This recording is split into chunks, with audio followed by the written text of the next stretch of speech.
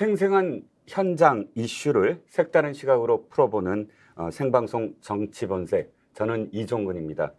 오늘 정치본색의 주제는 미리 다 짐작을 하셨겠지만 욕설 논란, 퇴로 없이 전면전입니다. 어, 이같이 신박한 주제를 간지나게 풀어주실 두 분 변호사 모셨습니다. 어, 화면 어, 오른쪽에는 어, 시- 설주한 변호사, 네, 왼쪽에는 신인규 변호사 두 분 인사해 주시죠. 네, 안녕하십니까. 안녕하십니까. 아, 저는 화요일 날 이 그 정치 본색을 나올 때마다 나오기 전에 뭘 입을까 좀 고민을 합니다. 두 분이 워낙에 그 젊으시고 또 이제 아 나이 생물학적 나이만이 아니라 뭐 생각하는 것 또 풀어 나가시는 것 또 어, 여러 가지 어떤 그런 그 사고 방식 뭐 이런 것들이 워낙 그 활기차셔서 제가 아 너무 이제 그 꼰대처럼 안 보이려고 비록 사회지만 아, 굉장히 그 이 색깔과 뭐 옷 매무새를 좀 다짐해 봅니다. 자. 아, 조금 우스갯소리로 시작한 게 오늘 좀 심각할 것 같아서 좀 농처럼 시작을 해봤습니다. 아, 토크 바로 들어가 볼게요. 국민의힘 반박하며 공세로 전환. 뭐 제가 뭐 설명을 안 드려도 어제 그 윤석열 대통령이 어, 귀국을 해서 처음으로 약식 기자회견을 하러 출근을 할 때 기자들이 굉장히 많이 몰렸어요. 그래서 약식 기자회견을 전 직접 보지 않고 이렇게 텍스트로 봤는데 어, 텍스트 원문에 이렇게 돼 있더라고요. 기자들 웃음. 오늘 많이 모이셨네요. 했더니 기자들 웃음. 뭐 이렇게 돼 있어요. 그러니까 기자들이 굉장히 많이 나왔습니다. 음, 음, 보니까 음. 그만큼 어, 아마도 그 이 미국에서 뉴욕에서 벌어졌던 그런 비서고 논란과 관련해서 대통령이 무슨 얘기를 할 건가 귀를 쫑긋했을 겁니다. 네, 대통령 어, 워딩은 어, 이 사건의 이, 사, 이 사고에 어쨌든 어, 그 논란의 진실을 밝히자라는 어, 그런 예상치 못한 좀 더 공격적인 그런 어, 발언을 했기에 더 어저께 그 논란이 더 커지고 또 공방 양쪽 진영의 공방이 커졌습니다. 국민의힘 측 의혹 제기는 잘 짧게 말씀을 드리면 박홍근 원내대표가 9시 30분, 20일 9시 30분에 최고위원회에서 어, 33분 막말과 관련된 어, 표현을 했는데 그때 당시까지만 하더라도 어떤 언론도 보도하기 전이었다. 그러면 이, 이 박홍근 원내대표의 이 발언은 도대체 어디서 시작된 건가? 무엇을 보고 시작한 건가? 이런 어떤 의혹의 시작, 시발점이거든요. 신인균 변호사께서 논평을 제하고 조금 정리를 좀 해주시죠. 시간대별로. 예, 우선은 이제 9월 22일 목요일인데요. 당시에 그 언론사에 그 보도된 시점은 오전 한 10시로 보입니다. MBC에서 보도를 한 건 10시고 지금 국민의힘에서 문제 제기하는 것은 그 전에 그 9시 반 정도에 박홍근 원내대표가 이제 그 최고위에서 그 관련된 발언을 했다는 겁니다. 네. 그런데 이제 또 언론사 측의 얘기를 들어보면은 한 8시 50분 정도 그 앞전에 이게 지금 영상이 좀 돌았다 그래요. 돌고 또 심지어 이제 저 같은 경우는 그 밭이라 그러죠. 그 기자님들이 이렇게 워딩을 쳐서 돌리는 거를 저도 한 9시 한 10분 정도에 저도 받은 것 같아요. 그래서 그전에는 좀 상당 부분 돌은 건 사실이다. 예, 근데 돌았는데 어쨌든 지금 국민의힘에서의 의혹 제기는 MBC와 그 민주당이 뭐 유착을 해서 이거를 좀 받아가지고 보도한 거 아니냐 음. 지금 이런 문제 제기고 여기에 대해서는 상당히 뭐 이번에는 넘어갈 수 없다라고 좀 강경한 입장을 현재 보이고 있습니다. 네. 뭐 간단하게 다시 정리를 하면 이 당시 풀기자라고 하죠. 공유하는 그러니까 아그 이 대통령을 순방하러 따라 순방 취재를 하러 따라간 기자들이 대통령 일정을 다 붙지는 못하잖아요. 그렇죠. 예를 들어서 수십 개 국가에 따라 붙는 몇백 명의 기자들이 전부 다 현장을 나가면은 몇천 명이 기자들이 있어야 되니까. 그래서 어, 이 한 팀 두 팀씩 당번을 정해서 취재를 하고 그다음에 그것을 공유하는 걸 풀기자단 그러니까 풀 형식이라고 하는데 당시에 MBC 기자가 동영상 담당이었고 그런데 박홍근 원내대표가 9시 33분에 언급하기 언급할 때까지 어, 보도가 되지 아니했다면 박홍근 원내대표의 소스는 MBC 쪽이 아니겠느냐 이게 이제 의, 의혹의 이제 시발점입니다. 네. 여기에 대해서 뭐 근데 뭐 사실관계는 그렇다 손 치더라도 저도 그날 당일에 8시 좀 넘어 그러니까 8시 한 9시 근처였던 것 같아요. 저희 이제 뭐 단체 채팅방 같은 데서 이게 네. 올라왔더라고요. 영상도 뭐 클립된 클립 열- 영상이 올라왔었고. 네.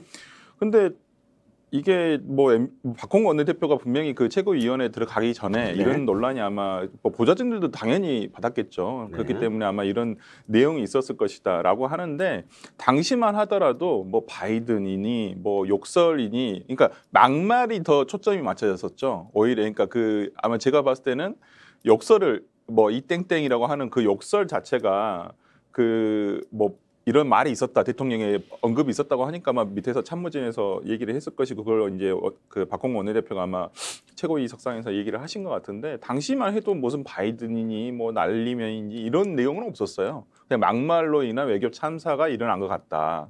그 다음에 이제 그것을 MBC에서 보도를 했다라는 것인데 지금 이제 보니까 국민의힘에서 얘기를 하고 있는 해명의 마지막 종착 뭐 종착인지는 모르겠습니다만은 이제는 자막을 그렇게 왜 달았냐 이게 이게 계속 저는 이해할 수 없는 거예요. 그러니까 지금 다 좋습니다. 다 좋고 뭐 해명도 하시는 건 뭐 그렇다 그렇게 이해는 합니다만은 이걸 먼저 실수한 것 자체가 나는 뭐 이 말 그러니까 이걸 그러면 원천적인 질문이 하나 남게 돼요. 네. 그럼 이거 보도하지 않았었어야 돼요?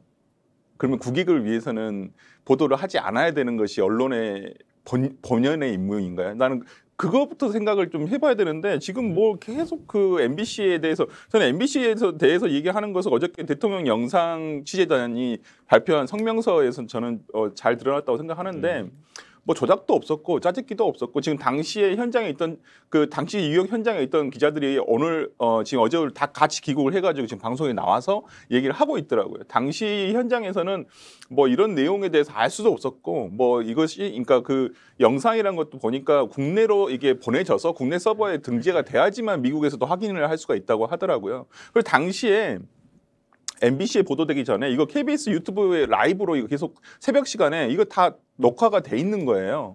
근데 이것을 뭐 당시에는 몰랐는데 이게 문제가 된 게 뭐냐면 대외협력실에서 대통령 대통령실의 대외협력실에서 이거 좀 문제가 있는 것 같다. 그때부터 이게 기자들이 좀 어, 이상하다 해가지고 이게 좀 돌기 시작한 거거든요. 그러니까 이걸 어느 언론을 언론 저는 대통령실이나 국민의힘에서 이거 언론을 탓하는 건 좀 저는 이해할 수는 없어요. 네. 저는 좀 생각이 다른데 그 박홍근 원내대표는 정치인 아닙니까? 그리고 야당의 지금 사실상 지도부입니다. 그렇기 때문에 저는 MBC가 보도한 것 저는 그거는 뭐 언론의 사명에 충실했다고 보는데 박홍근 원내대표가 최고위에서 이걸 받자마자 바로 발표하는 건 저는 매우 성급했고 정치인으로서는 저는 비판을 받아야 된다고 생각을 합니다. 왜냐하면 이 부분에 대해서는 외교 행사 중이고 뭐 설사 제가 다 인정하더라도 뭐 바이든 새끼 다 인정하더라도 그걸 굳이 받자마자 그냥 이렇게 소위 말하는 찌라시 수준의 도는 수준에서 확인도 안 하고 그냥 발표한다는 건 전 이건 약간 정치 공세의 의도, 의도가 좀 있었다라고 봐서 비판을 받으셔야 되고 다만 지금 민주당하고 MBC의 그런 유착 관계 여기로 바로 들어가니까 이제 국민들께서 붕 찌시는 건데 저는 뭐 MBC가 소위 말하는 이제 그쪽 그 민주당 쪽 인사들하고 조금은 가까울 수 있는 사람들이 소위 말해서 지도부를 구성하고 있고 그런 정도로 좀 편향됐다라고 지적하는 생각들이 많이 있어요 국민의힘 내에는. 근데 그 부분에 대해서 저는 지적하는 것과 이 사안은 저는 본질적으로 다르다 봅니다. 왜냐하면 이거 MBC가 취재해가지고 MBC가 터트린 게 아니잖아요. 공동 취재단이 돌리던 것을 단지 MBC가 그날 당번이었고 그거에 대해서 MBC가 최초로 보도한 다음에 모든 언론이 다 갖다 보도를 했거든요 음. 근데 여기서 유착설을 바로 갖고 나오는 것은 좀 번지수가 좀 안 맞는다라는 생각이 저도 솔직하게 들고 게다가 대통령실에서 최초에 이거 외교적인 문제가 될 수 있으니까 보도 좀 자제해달라고 반장들한테 또 문자를 뿌렸어요. 그럼 본인들도 이 부분에 대해서는 문제된다는 걸 인지하지 않았습니까? 음. 그럼 이게 왜 조작이 되고 왜곡 선동이 된다는지 이게 성립이 안 되고 저는 마지막으로 짚고 싶은 것은 지금 이 사안의 본질은 MBC와 민주당의 유착이 아니고요. 일단 대통령께서 외교 무대라고 하는 그 공식적인 자리에서 카메라를 의식하지 못한 상태에서 그런 비속어 내지는 막말을 국회에 대해서 했다는 겁니다. 그것이 뭐 한국 국회가 됐든 미국 의회가 됐든 둘 다 해도 하여튼 문제입니다. 그래서 저는 이 본질을 좀 흐리지 않았으면 좋겠다. 문제는 문제대로 짚고 거기에 대해서 사과를 하고 넘어가야지 이걸 가지고 프레임 전환식으로 소위 뭐 운전자 바꿔치기처럼 그렇게 가피해자를 바꾸는 식으로 하는 것은 저는 국민들께서 전 동의하기 어렵다. 전 이렇게 봅니다. 저 잠깐만요. 그래서 이제 사회자가 잠깐 개입을 하겠습니다. 네, 네, 네. 이 본질적인 문제는 우리가 토크 2나 토크 3에서 음, 좀 음, 이야기를 하기를 음, 하고 음. 국민의 힘이 문제 제기를 한 부분에 대해서 조금만 더 집중을 해보자고요. 네. 자 지금 설변께 제가 다시 질문을 드리는 건 네. 그 영상 기자단의 그 이 성명을 네. 보셨을 거예요. 그래서 조작 없었다. 근데 그 뒤에 보면 유출에 대해서 책임을 져야 된다 이 표현이 있거든요. 누가 유출을 했는지 분명히 이건 유출이 있었던 것이고 왜냐하면 그 엠바고가 9시 39분이 엠바고고 네. 근데 9시 39분 이전에 인터넷에서 돌았다는 게 9시쯤에 모 커뮤니티에서 새벽에 땡땡땡이라는 사람이 이것과 관련해서 구체적으로 두 번씩이나 올려요. 네. 그 그것이 이제 최초라고 보여지고 그 후에 어, 몇몇 그 이 민주당 쪽 원외 인사 들의 그 저 뭐야 그 SNS를 통해서 나옵니다. 근데 보통 저도 이제 정치부 기자 또 정치부 데, 데스크도 하고 편집국장도 했는데 네. 순방 기자들의 룰은 이거예요. 룰은 어 싱크가 있는 싱크가 있는 그런 그 동영상일 경우 그 싱크에 대해서 확인을 해요. 그렇죠. 무슨 말을 네. 했는지 네, 네, 네. 확인을 해요. 대통령실에. 왜냐하면 이 발언이 사실 뭐 지금 계속 들으시겠지만 이 바비큐 거 빼고 그러니까 네. 누, 무엇이라고 누군가 음, 확정지어서 음, 자막하는 음, 거 빼고 음. 처음 들었을 때 애매한 표현이 분명히 있거든요. 네, 네. 네. 그러면 그 애매한 거는 당연히 대통령실에 확인해야 되는데 그 확인 없이 나갔어요. 지금 MBC는 확실히. 아, 그건 그건 제가 잘 정확하게 아, 그거, 확- 모르겠는데. 그거 확인해 보세요. 네, 네. 그 확인 없었어요. 네. 왜냐하면 확인이 안 되는 것 중에 하나가 그 안에 사정이 또 있는데 아 내가 사회자가 이렇게 말을 많이 하면 안 되는데 그 지금까지도 확인은 안 되고 있는 거 아닌가요? 아니, 그러니까 대통령이 모르겠다고 하시던데. 확인이 안 된 상황 중에 하나가 네. 당시에 갑작스럽게 일정이 변경되는 관계로 네. 진짜 김성원 외교실장하고 안보실장하고 박진 외교부 장관밖에 없었던 거예요. 음. 이것을 이야기해 줄 수 있는 담당자가 거기에 못 따라갔대. 그러니까 아. 확인해 줄 수 있는 담당자가 없었대요. 아니 내 취재를 해봤더니 대통령 전화해서 물어보면 안 이게, 돼요? 이게 말이 안 돼. 저도 이게 참 그 저 말이 안 된다고 생각을 하는데 어쨌든 네. 그럼에도 불구하고 어, 담, 이 홍보 기획 쪽에 이제 홍보 수석 쪽에 따라갔으니까 네. 아, 확인을 했었어야 되는데 확인이 없이 나갔고 영상 그 이 기자단의 표현은 어쨌든 유출은 굉장히 심각한 문제다. 그 유출에 대해서도 빨리 진상 규명을 하고 책임져야 된다는 게 뒷부분에 있습니다. 네. 그러면 이 유출은 도대체 어, 전혀 별개의 문제라고 생각을 하고 아니, 추적을 네. 하지 말아야 되는 건가요? 아니 유출에 대해서 이걸 얘기한다는 것 자체가 저 이해가 안 돼요. 솔직히 네. 말씀드리면 음. 아니 이게 그러면 그 내용을 확인을 해가지고 다 소상하게 진실을 밝히시면 깔끔한 문제인데 이것을 야 이걸 국익에 해야 한다는 것도 그러면 분명히 그 당시에 대외 협력실에서도 이게 바- 뭐 외교적으로 문제가 될 수 있으니 이 부분에 대해서 반장님들의 뭐 의견을 듣고자 합니다라고 돼 있어요. 그러면 당시에 이것을 대외 협력실에서 몇 번 제가 봤을 때는 당시 현장 뭐 이 에서 아마 돌려봤을 거라고 생각을 합니다. 그러면 분명히 이게 바이든이든 뭐 뭐뭐 난리면이든. 뭐 난리면이든 다 뭐 욕도 있고 그러다 보니까 야 이거 아니 그 정 그 뭐 분명히 거기 현장에서 채, 그러니까 우리가 우리가 어, 수사나 이런 걸 보면 최초의 발언이 가장 진실일 경우가 많아요. 그러면 분명히 거기서도 뭐 이게 문제가 된다라고 했었으면 어, 외교적 그러니까 미국 의회라든지 미국 바이든 대통령에 대한 언급이구나라고 생각을 했기 때문에 그렇게 저는 했다고 생각하거든요. 근데 이걸 가지고 그러면 유출을 이제 이거 엠바고 풀리기 전에 유출을 한 것이 문제가 되느냐? 지금 그걸 여쭤보시면 저는 유출이 문제가 된다고 생각하지는 않습니다.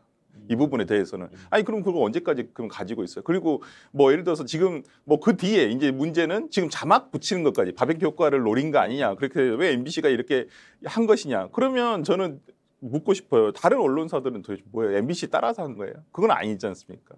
가, 다, 본인들도 판단을 해가지고 이 어, 발언으로 했기 때문에 다 그 후속 보도가 다 다른 언론사에서 동시에 거의 나갔거든요.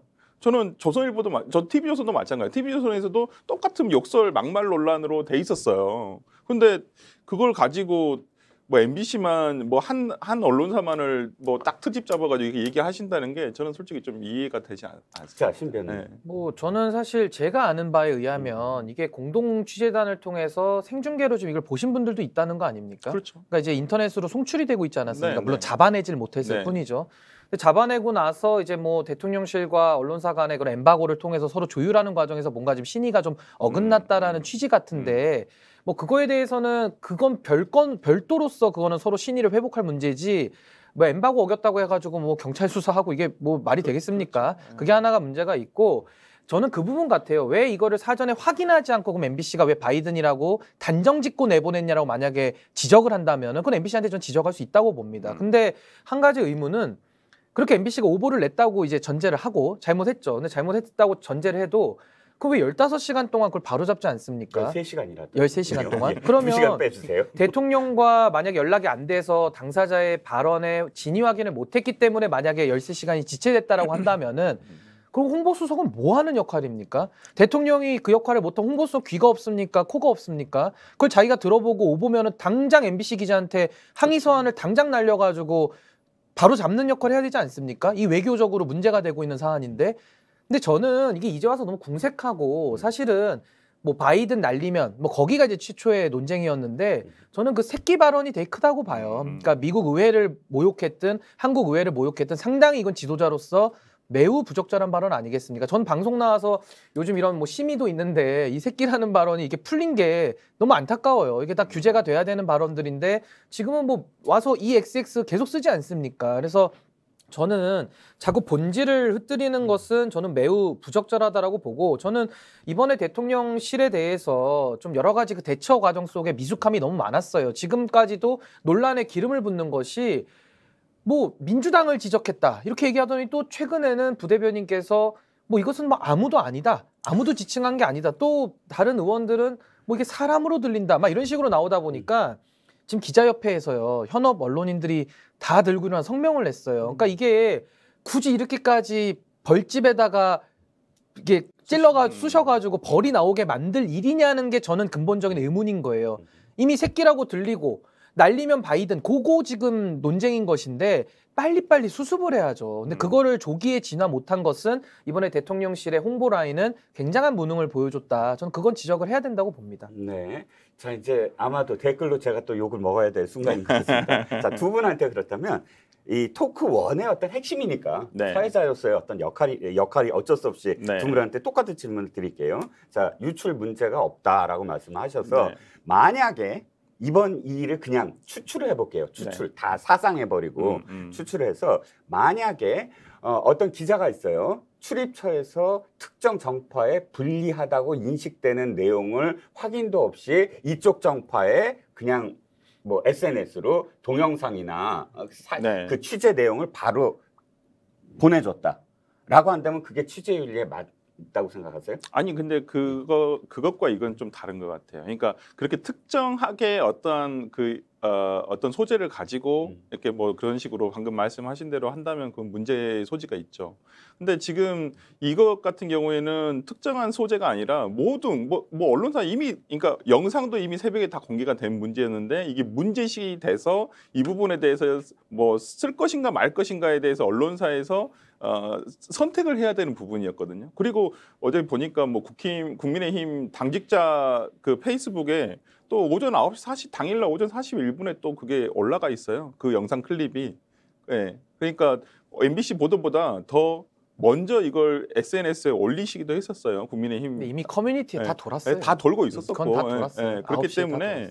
저는 이 부분에 대해서 예를 들어서 뭐 그 방금 그 사회자께서 말씀하신 내용대로 그런 정, 어떤 기자가 어떠한 정파적인 소재를 가지고 특정 뭐 정당에게 이런 것을 준다면 논란거리로서 준다면 뭐 그것도 문제가 될까 말까는 하지만은 그래도 뭐 문제를 삼는다고 하더라도 저는 이 같은 경우는 조금 다르다고 봅니다. 이건 공동으로 가지고 있었던 거잖아요. 자, 그거 조금 또 여지가 있어요. 뭐냐면 음. 6시 30분인가 공동으로 갖고 있다는 게 저쪽에서 MBC가 그 뉴욕에서 국내로 쏘거든요. 그렇죠. 예, 국내로. 예. 그러면 어, 여기에 자막 없이 원 데이터 그대로 나갑니다. 그렇죠. 예. 그리고 여기에 뭐가 있다라고 얘기 안 해요. 네, 원 그- 데이터 그- 그, 그렇죠, 그 자체입니다. 그렇죠. 예, 그리고 그렇죠. 이게 시, 이 15초 분량이 아니라 굉장히 큰 분량으로 나가는 네, 거예요. 네, 전- 네, 네. 원 데이터 썼으니까. 네, 네, 그러면 네. 여기서 그것을 검색해보고 들어보고 뭐 이렇게 기사화하는 거는 여기 데스크 문제인데 네. 여기 데스크들이 그럼 과연 그걸 먼저 알았느냐? 이건 몰라요. 음, 그렇죠. 예, 그렇죠. 그건- 만약 알았다면은 MBC가 10시 7분보다 더 빨리 유튜브에 나갔을 수도 있어요. 딴 데가. 음. MBC가 10시 7분에 유튜브를 했다는 건 딴 데서 이걸 파악 못 했다는 뜻일 수도 있고. 아니 뭐 그, 그렇다 손 치더라도 뭐 MBC는 바이든이냐고 들었다고 하니까 자기들은 자막을 이렇게 단 것이고 자막을 아니 들린 사람대로 해가지고 그 많이 들어봤지 않겠습니까? 그래서, 예, 예. 자막 문제 말고 예, 그래서 예. 어, 모두 다 알고 있었다라는 것과 지금 기, 이 이제 MBC가 예. 단독으로 10시 치문에 치고 나가는 어떤 상황이 음. 알고 있는데 딴 데는 왜 안 나갔느냐를 제가 대답을 근데 이거 전 세계로 동시에 송출된 거 아닙니까? 그렇죠. 그 지나가는 풀기자단이 네. 요즘 유튜브 생중계 많이 하니까 안 네. 보더라도 네. 사람들이 네. 방송에는 안 실리더라도 음. 유튜브로 계속 돌리잖아요. 그렇죠. 따라다니는 아니, 당시도 거를. 라이브가 그러니까 라이브를 보는. 분들은 뭐 예. 100명이 접속했든 1000명이 접속했든 그냥 보는 거 아닙니까? 그러니까 음. 저는 여기에 대해서 제가 아까 박홍근 원내대표는 정치인으로서는 전 이거 너무 성급했고 잘못했다고 비판을 했고요. 언론으로 얘기하면 지금 뭐 우리가 국민의힘 당원 당규 공부하기도 벅찬데 뭐 보도 준칙 내지 보도 행태까지 우리가 알아야 되는 것도 저는 이거 본질과 전혀 상관이 없다고 보고 아까 말씀 앵커께서 하신 대로 이게 뭐 기밀이나 비밀은 아니잖아요. 음. 기밀이나 비밀이면 일단 문제지만은 이거는 제가 봤을 때 보도를 할지 말지는 언론이 결정하는 겁니다. 그 음. 언론을 왜 통제하려고 하는지 전 그게 의문이고 또 하나는 이게 무슨 뭐 내통을 했다 이제 이런 취지인데 내통을 했다면 굉장히 심각한 문제죠. 그건 진짜 언론과 권력이 유착된 거니까 그건 뭐 수사를 해야 되겠죠. 근데 뭐 유착된 게 지금 나온 건 없잖아요. 이건 그냥 보도가 MBC가 먼저 했고 음. 나머지 언론사가 우르르 따라서 한 거 아닙니까?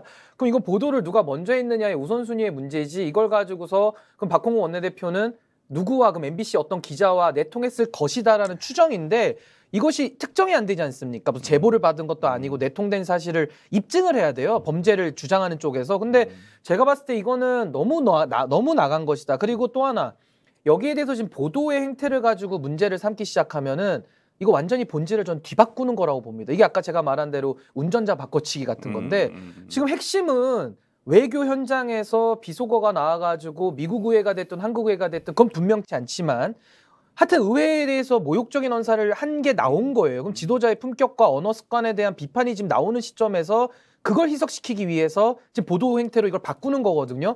저는 제가 국민의힘에 소속됐고 저도 국민의힘을 지지하는 사람이지만은 좀 이러지는 않았으면 좋겠어요. 왜냐하면 문제의 본질을 자꾸 희석시키면 그럼 대통령께서 그럼 비속어 쓰신 게 잘한 겁니까? 그럼 앞으로 계속 쓰실 거예요? 사적으로? 그럼 공동 카메라 계속 붙어 다닐 건데 앞으로 외교 현장에서 대통령님이 계속 이렇게 말씀하실 겁니까? 아니잖아요. 그럼 잘못된 건 잘못됐다 비판을 하고 고쳐야지. 이거를 자꾸 언론 행태로 뒤바꾸게 해가지고 가는 것은 저는 완전히 지금 뭐 여기 오른팔 다쳤는데 왼다리 수술하는 거랑 똑같다고 봐요. 그러니까 본질은 뭐그 이 내용에 있지 그것이 유출이 문제라고 하는 건 네. 지금 돌려치기다. 아 저는 그렇게 생각을 합니다. 아니 그러니까 지금 보면 우리가 그 진실은 제가 항상 설명을 하는 거예요. 변호사로서도 의뢰인들한테 얘기를 하는 거지만 진실은 처음과 끝이 똑같아요. 그래서 어느 한 부분에서 무언가를 물어보더라도 똑같은 대답이 나올 수밖에 없는 것이고 똑같은 걸 얘기할 수밖에 그러니까 똑같은 것으로 보일 수밖에 없어요. 근데 거짓은 어디 한 군데에서 뭐가 이게 안 맞기 시작해요. 어긋나기 시작하고 거기에 또 해명이 또 붙으면 또 거짓이 거짓을 낳는 거예요. 지금 대통령실의 해- 해명 자체가 저는 그- 그렇다고 봐요. 제일 처음에 해명과 나중에 해명이 지금 완전히 다 너무 달라졌어요. 우스꽝스러워지는 네. 거예요. 그러니까 우리가 시간 순으로 한번 대통령실의 해명을 쭉 처음부터 이렇게 딱 보잖아요. 제일 처음에 외교적 문제가 있으니까 이거 반장님들의 의견을 듣고 싶다부터 시작해서 그 다음에 김은혜 어, 홍보수석의 그날 바- 그러니까 한국 시간으로 밤에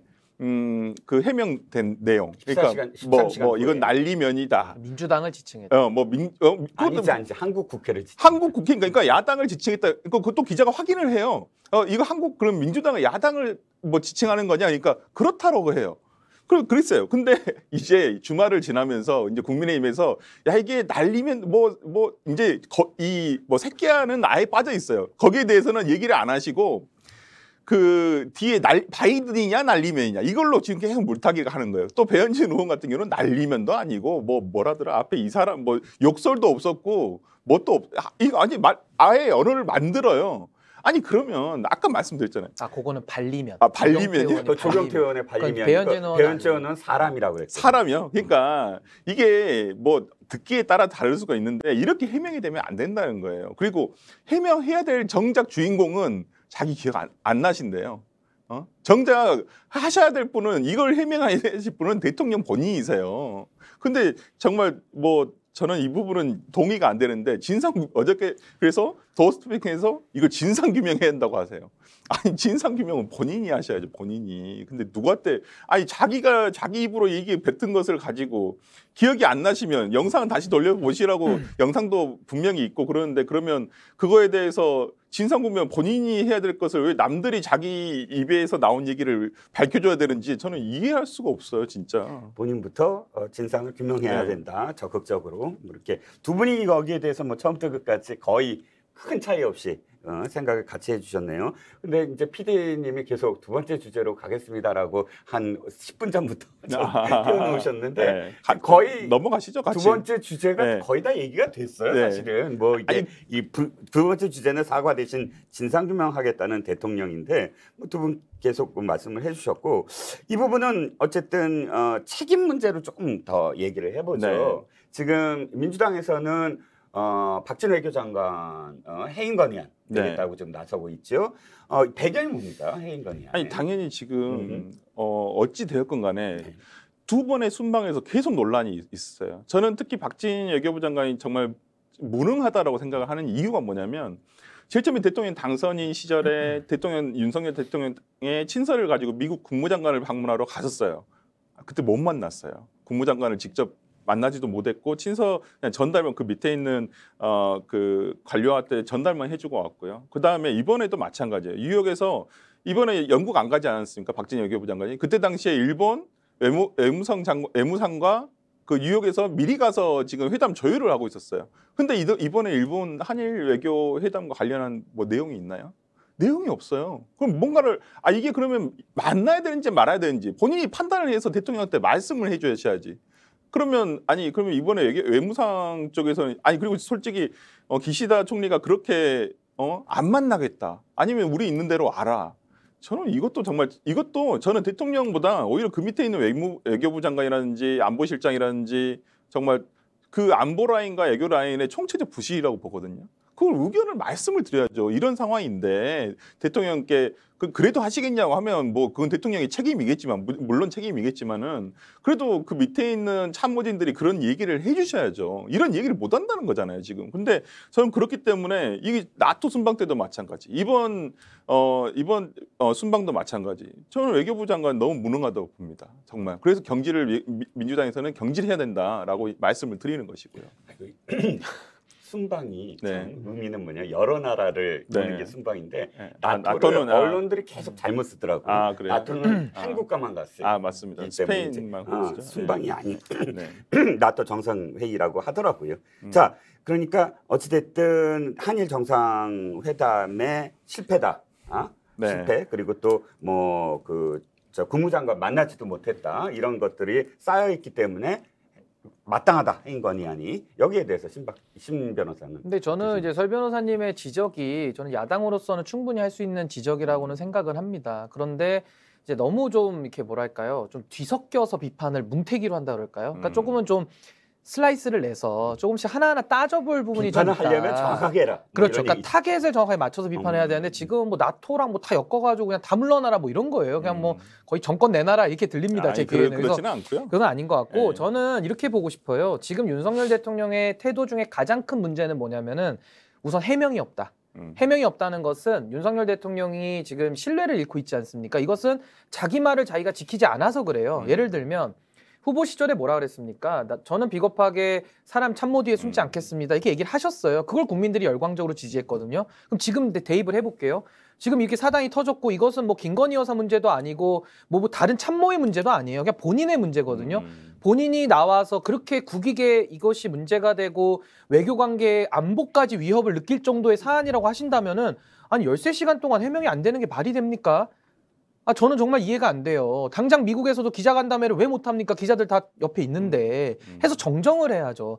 저만 해도요. 제가 국바세 운영하면서요. 이거 뭐 이준석 대표 지직 팬클럽 아니냐 이렇게 얘기가 나와가지고 저 항의 문자 많이 보냈고 다 모였을 때마다 매일 입버릇처럼 얘기를 합니다. 아니라고. 음, 음. 적극적인 대응을 해야죠. 그 제가 못하면 아 공보에서 그 역할 해야죠. 근데 그거 안 했지 않습니까? 이거에 대한 문제 제기가 좀 먼저 필요하고 두 번째는 이거 자꾸 본질 바꿔치기 하려고 해도 안 바뀌거든요. 자꾸 우스워져요. 그러면 사과를 해야죠. 여기에 대해서는 국민이 대통령도 뽑았고 국민이 국회도 뽑았는데 아, 같은 선출직끼리 누구를 아무리 사담이더라도 이놈 저놈 하면 되겠습니까? 그건 아니지 않습니까? 그리고 대통령 지도자의 언어 품격에 안 맞는다는 국민들의 비판을 겸허히 받아들이시고 여기에 대해서 사과를 해야 됩니다. 그리고 마지막으로 조치를 해야 되는데 그 조치에 대해서는 아까 말씀드린 대로 뭐 공보 라인이나 여러 가지 해야 될 문제점이 도대체 뭐냐 이걸 복기를 해야 됩니다. 복기해서 문제를 교정을 해야 다음 순방 나갔을 때도 이런 문제가 안 생기거든요. 그리고 제가 아까 그 지금 경제와 외교에 대해서는 저는 설 변호사님과 생각이 다른 게 전 원래 문재인 정권 탓 안 하거든요. 음. 뭐현 정부가 이건 짊어져야 되고 민주당과의 차별점이 전 그거라고 봐요. 민주당은 과거에 항상 이명박근혜 노래를 불렀던 당이에요. 근데 저는 윤석열 정부나 우리 국민의힘은 전 달라져야 된다고 봅니다. 과거 탓하면은 발전이 없어요. 근데 저는 경제와 외교에 있어서는 지금 현 정부에다가 모든 책임을 씌우는 거 저는 문제가 있다고 봅니다. 왜냐하면 아니, 경제라는 것이 바로 인수 받았는데 바로 경제가 좋아집니까? 인재 정책 만들고 인수인계해서 인재 풀어 나가는 거기 때문에 경제 문제에 대해서는 민주당도 공동 책임을 느껴야 돼요. 그리고 외교에 대해서도 마찬가지입니다. 아, 한일 관계가 부실했죠. 저도 그 부분에 대해서는 평가를 따로 해야 된다고 보는데 아니 일본 관계에 대해서 민주당이 과거에 완전히 일본과는 담벼락 쌓고 아무것도 안 했잖아요. 그러고서 이제 그걸 복원하는 단계에 있는 것인데 첫 번째 물꼬를 트는 과정에서 뭐 국격이 좀 손실되고 여러 가지 비판점이 있다고 저는 보는데 그거를 타겟을 해가지고 비판을 해야지 뭉뚱그려서 외교를 다 못한다 이런 식으로 접근해가지고는 저는 이거 상대평가라고 보기 때문에 민주당도 이건 큰 점수 못 얻습니다. 국익에 있어서는 경제와 외교 아 정말 이건 좀 협치적인 자세로 저는 평가가 들어가야 된다 이렇게 봅니다. 아니 민주당 협치하려고 해요. 네. 협치를 바라지 아, 않는 뭐, 사람은 목소리 좀 크게 갑자기 목소리가 이렇게 아니, 잘안 들렸어요. 네? 민주당은 협치에 대한 자세가 돼 있어요. 성격이 좀 아, 안 네. 네. 그런데 네. 협치 안 하겠다고 하신 분이 윤석열 대통령이에요. 음. 아니 뭐 민주당 의원들을 가지고 이 새끼들이라고 한다면 어떤 야당이 아니 어- 우리나라 대한민국을 떠나서 어떤 야당이 거기에 협치를 하겠습니까? 협치 제한 어떤 기본적인 자세가 안 된 거 그리고 같이 앉아서 마주 마주 앉아서 테이블에서 얘기할 자세가 안 된 건 먼저 윤석열 대통령이에요. 그리고 어 민- 이재명 당대표 같은 경우에도 협치하겠다고 당대표 선출된 날부터 얘기했었어요. 그리고 뭐 영수회담 뭐 어, 영수회담 제안을 했지만은 뭐 형식이나 명칭이나 이런 거에 구애받지 말고 좀 만나서 얘기 좀 하자. 왜냐면 지금 국민의힘 자체가 지금 굉장히 불안정한 상황이잖아요. 집행부가. 그렇기 때문에 지금 뭐 그러면 이, 이- 지금 구- 국민의 당으로 치자면 비대위가 인정된다 손 치더라도 어, 지금 또 이것도 다, 이번 주 다음 주에 또 어떻게 될지 모르겠지만은 그렇다고 한다면 올 연말까지는 집행부가 거의 없어요. 그냥 원내대표가 그냥 아 있어요. 직무대행이에요. 아, 직무대 네, 지도부죠 합법적인. 아니 그러니까 예. 원내대표는 공식적으로 네, 없지 네, 않아요. 네, 뽑은 네, 거예요. 네. 네, 당원 거기 당규에 때문에 위해서 권한이 있어요. 어, 네. 그건 가처분 소송을 해도 아, 안 되는 당연하죠. 거지. 아, 아니 그러니까 네. 그러더라도 그럼 저는 좀 그런 부분에서 저는 협치의 테이블로 나올 수 있는 상대방이 있어야 되는데 아니 그러니까 대통령이 이런 거 예를 들어서 이번 정기 국회라든지 정기 국회라든지 국정감사 국정감사에 야당이 당연히 정부 비판하는 것이고 그러면 예산 예- 특히나 저 중요한 게 12월 달에 있을 예산이에요. 예산 결산인데 그 부분과 관련해 가지고 정부가 야당에 협력을 안 얻을 거예요. 아니 양해를 구하고 싶은 것도 있을 것이고 그런 부분이 있으면 야당과 가- 얘기를 해야 될 거 아니에요. 근데 지금 뭐 이 새끼 저 새끼 해놨으니까 뭐 그래서 이게 제가 거기에 네. 대해서 말씀드리는 네. 게그 당장 좀 사과를 하셔야 돼요. 예, 맞아요. 사과를 해야 네. 됩니다. 이거는 먼저 잘못했잖아요. 네.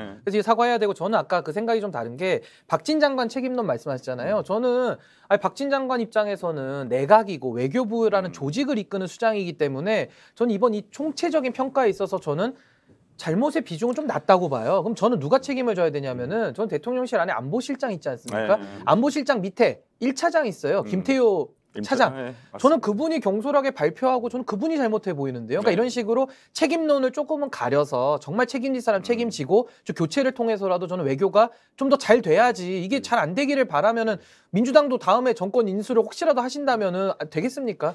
서로 이거는 협치적인 자세로 가야 된다 이렇게 봅니다. 네. 그래서 이를테면 아, 예, 예. 그래서 저는 박진 장관 뭐 탄핵 소추한다고 막 이러는 아, 해인건인가요? 해인건이 아, 해인건이죠. 예, 예. 이런 식으로 접근하는 것은 민주당도 이거는 진정성이 안 느껴지는 거예요. 그러니까 무슨 말이냐면 외교 참사라고 합시다. 제가 인정하겠습니다. 그러면 어떤 문제의 원인인지를 야당 입장에서 좀 봐주면서 아, 이 부분이 조금 타겟팅을 해서 이게 문제다라고 지적을 같이 해야지 그냥 통으로 묶어서 박진 장관 해임 건의안에서 우리 이거 한번 근육 자랑하자 이런 식으로 가가지고는 민주당 입장에서도 이거는 도움이 안 될 거다. 그래서 저는 음. 문, 윤석열 대통령께서 일단 사과를 해야 된다는 전제 위에서 지금 제가 책임론을 더 가리자. 전 이 제안을 한번 드리는 네. 겁니다. 그러니까 사과 수술을 하려면 핀셋으로 아, 정확하게 그렇죠. 환부를 다 드러낼 수는 벌여내라 없습니다. 라는 뜻인 것 같고. 아니 그러니까 지금 음. 말씀하신 저 김태호 차장의 그 성급한 음, 발표가 흔쾌히 합의했다 표현. 그거 그리고. 미국 정상회담도 잡혔다 했었어요. 그러니까 잘못된 거예요. 외교 프로토콜에 어긋나는 행위를 한 건데 지금 우리가 어, 안보 1차장에 대해서는 해임 건의안을 할 수가 없잖아요. 야당으로서는 국회에서 할 수 있는 것은. 그러니까 아마 제가 봤을 때는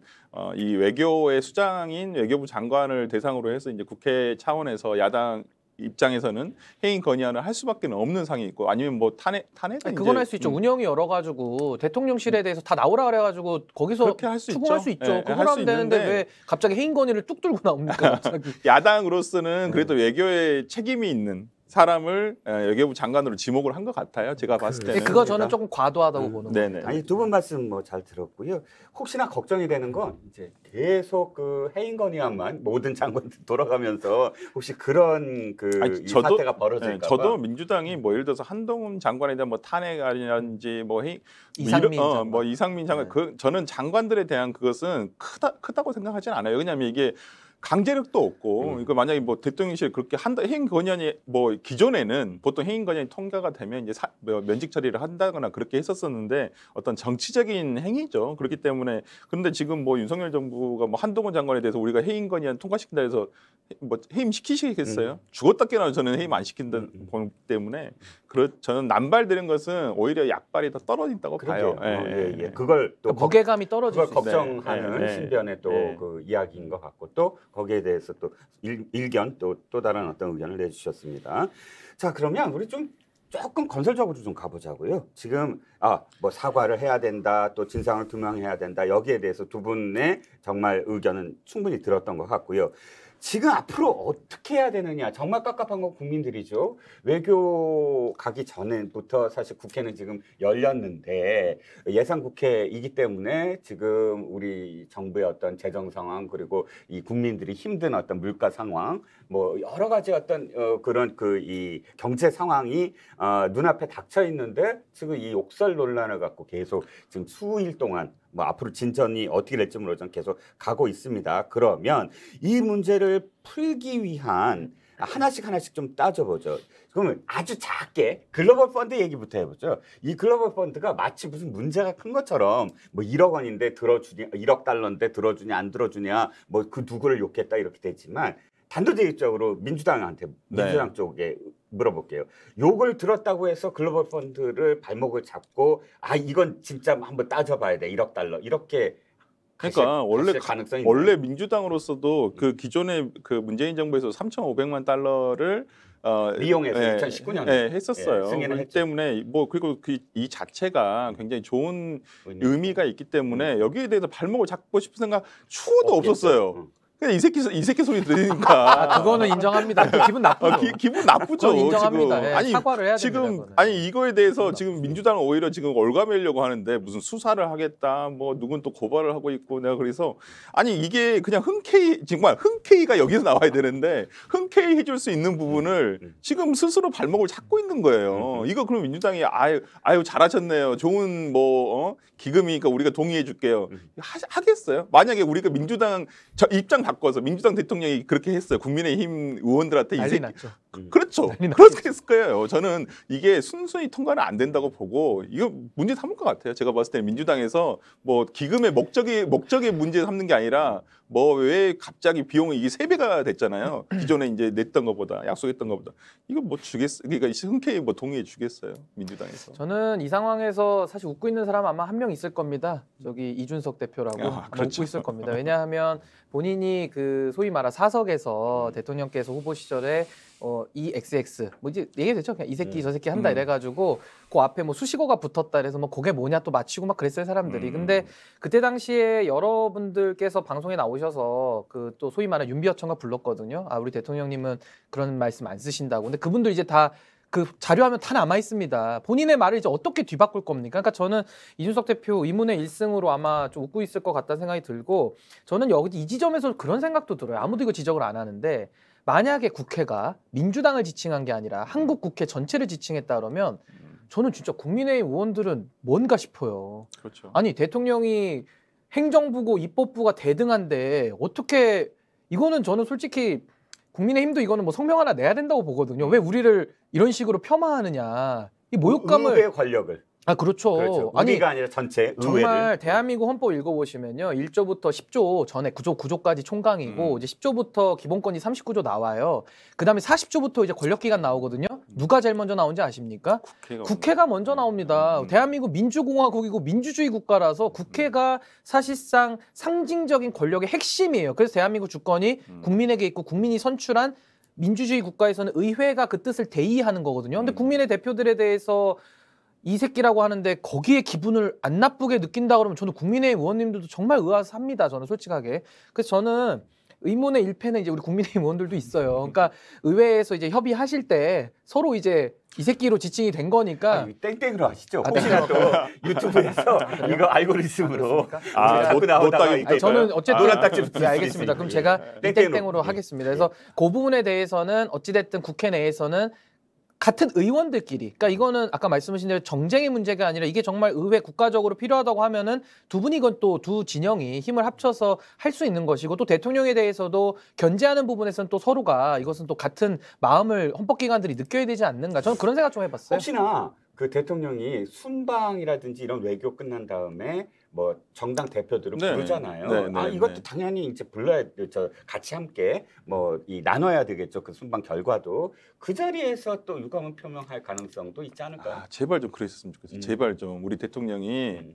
정말 본인은 무결점이라 생각하시는 건지 아니면 밑에 있는 참모들이 대- 우리 대통령은 무결점이시다, 뭐 흠결이 전혀 없으시다, 실수도 안 하시는 분이라고 생각하는 건지는 모르겠는데 참 답답합니다. 그러니까 저- 외교 뭐 외교 성과도 제가 어저께 대통령실에서 나온 그 플랜 뭐 이렇게 카드 뉴스도 봤는데 뭐 별 눈에 띄는 게 없더라고요. 그렇게 특별하게 뭐 외교 순방의 효과 뭐 결과라고 할 것들이 과연 이 정도인가라는 생각이 좀 드는데 여기는 당초에 너무 기대감을 줬어요. 이 가시기 전에 이걸 뭘 했냐면 이번 순방 한미 한일 회담을 지지율 반등의 계기로 삼겠다. 이렇게 얘기하셨 얘기하셨었어요. 그 당시 대통령실에서 보도도 있었었고 근데 반등되기는 커녕 갔다 와서 오히려 더 깎이는 것만 됐고요. 그리고 저는 정말 그 아까도 말씀드렸지만은 이걸 가지고 우리가 얘기를 하고 이거 며칠 떠들 내용, 내용이 아니에요. 진짜로 저는 어저께 지금 환율은 이미 1,400원이 넘어갔고 어저께 주가 4%가 떨어졌어요 하루에. 지금 코로나 전 코로나 이전으로 돌아가 버렸어요. 음. 지금 어, 주가가. 그러니까 이거 지금 나라 경제를 걱정해야 되는 상황에서 이게 바이든인지 욕, 뭐 난리면인지 이걸 가지고 지금 계속 이거 다시 듣기를 하고 있다는 자체가 전 국민이 지금 청력 테스트 하고 그게 있어요. 홍보 수석이 잘못한 거죠. 왜 네. 다시 들어보라고 그걸 얘기를 다시 해가지고. 들어보라고 했으니까. 홍보 수석이 잘못했다니까요. 이거는 잘못했어요 정말. 그래서 저는 네. 진짜 이걸 저는 주호영 원내대 아니, 그러니까 원내대표가 제일 처음에 반응. 아 이게 의회에 대한 것이더라도 상당히 유감이다. 음. 이 정도만 저는 대통령이 발언을 하시더라도 민주당으로서는 더 이상 공세를 하기가 좀 그래요. 이걸 가지고 그 중요한 문제도 아니고 이걸 더, 더 논의한다는 게 그래 맞습니다. 뭐 동맹 해, 동맹 관계를 훼손시키는 건지는 모르겠지만 어찌 되었건 간에 진- 진짜 우리 대한민국을 생각해 보면 진짜 뭐 내 얼굴에 침 뱉기예요. 어찌 보면 그렇기 때문에 얘기할 필요가 없는데 이제는 진실 공방으로 가버리자고 해버리니까 민주당으로서는 이게 같이 끌려 들어갈 수밖에 없는 상황이 돼버리는 거거든요. 근데 지금 이걸 가지고 우리가 뭐 논란에 계속 얘기할 게 아닌데 참 답답합니다 대통령. 그러니까 여기 저도 조금만 말을 네네. 보태면 초반에는 팩트가 있었기 때문에 음. 가치 평가의 문제로 넘어갔으면 됩니다. 음. 잘했다 못했다. 음. 잘못했으면 사과하면 될 음. 일인데 가치 판단의 영역이 있던 것이 해명을 잘못함으로써 음. 자꾸 사실 판단의 영역으로 옮겨가고 있어요. 근데 이거 사실을 어떻게 규명합니까? 뭔가 심지어 어떤 분은 소리 그 주파수 분석하시는 아, 분이 음. 니은이냐 비읍이냐 가지고 분석을 하시더라고요. 음, 음. 근데 이게 분석할 대상이 됩니까? 발언을 하신 분께서 나오셔서 내 발언의 취지는 이거였다. 음. 소상하게 해명하고 관련자들한테 사과하고 넘어가면 정말 깔끔하게 해명될 일인데 음. 그걸 못하니까 지금 이런 사단까지 왔다. 전 거기에 문제가 있다. 전 이렇게 보고 매우 안타깝게 생각합니다. 네. 그러니까 저는 이런 짤이 생각났어요. 오늘 제가 이 커뮤니티 보다가 네. 베테랑이라는 영화에 보면 나와요. 그 황정민 배우가 아니 사과 그 유아인한테 그랬나요? 그러니까 사과 한 번 하면 끝날 일인데 일을 이렇게 크게 만들 커- 어, 크게 만드는 이유가 뭐냐? 근데 저는 진짜 지난 주말을 거치면서 국민의힘 의원들이란지 뭐 다는 아니시겠지만은 도대체 왜 이런 기조로 자꾸 가는지 모르겠어요. 이렇게 음. 해서 얻는 게 뭐죠? 나는 대통령실도 마찬가지고 뭐 그러니까 일요일 날 대통령 비서실장이 가짜 뉴스 얘기를 했어요. 저는 가짜 뉴스라는 말도 저는 틀리다고 봐요. 이게 무슨 가짜 뉴스예요? 가짜 뉴스는 아니지. 그러, 그러다가 제일 처음에는 조작 왜곡이라 했어요. 그러다가 이제는 자막을 왜 이렇게 붙였냐. 이렇게 그런 식으로 이렇게 쭉 흘러가거든요. 그러면 이렇게 해서 대통령이 얻을 게 뭐고? 아니요, 아니요. 본인들은 얻을 게 있죠. 체리 따봉을 얻을 수가 있고 대통령께는 해가 되는 일입니다.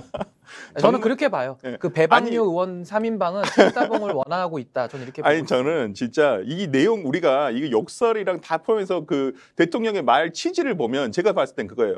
바이든이 그러니까 바이든이 바이든이라 생각했었을 때 바이든이 60억 달러를 글로벌 펀드에 제공한다 했어요. 근데 미국 승인 의회 승인을 얻어야 되잖아요. 근데 이걸 못 얻으면 바이든이 얼마나 곤란하겠냐. 미국 대통령이 걱정해 주는 내용이에요. 내용 자체는 물론 비속어가 섞였다는 거 물론 문제가 있죠. 그러니까 내가 이런 취지에서 이런 얘기 했는데 비속어가 좀 부적절한 표현이 들어가서 어, 이 부분은 내가 사과를 한다. 이렇게 하면 그냥 말끔하게 끝날 일이에요, 정말. 국민들이 이해합니다. 예, 아니, 그래, 이해해요, 왜냐하면 정말. 사석에서 다 국민들도 하는 그러니까. 용어이기 때문에 이해합니다. 그렇죠. 근데 그걸 가지고 지금 뭐, 이- 아, 정말 진실 공방한다는 게 저는 참 참담한 수준이에요. 진짜 이걸 가지고 이렇게 한다는 게. 예.